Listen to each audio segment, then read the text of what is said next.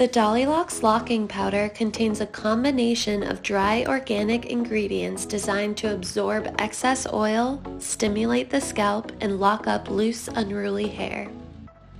Lightly dust the powder onto your scalp and then gently rub the base of the lock in a circular motion or roll the base of your locks in between your fingers to tidy up the roots and encourage locking. Use sparingly in small amounts until the desired result is achieved.